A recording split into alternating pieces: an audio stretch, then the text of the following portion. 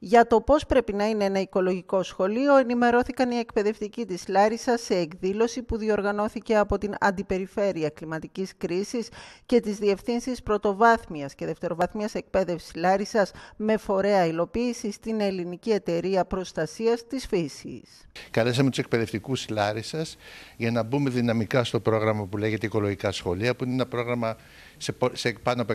150 χώρες, εκατομμύρια μαθητές, χιλιάδες σχολεία και θέλουμε και στη, και στη Λάρισα και αργότερα σε όλη τη Θεσσαλία να το αναπτύξουμε την επόμενη χρονιά. Είναι σχολεία που εμπλέκουν όλη, είναι προγράμματα που εμπλέκουν όλη την σχολική κοινότητα με σκοπό τα σχολεία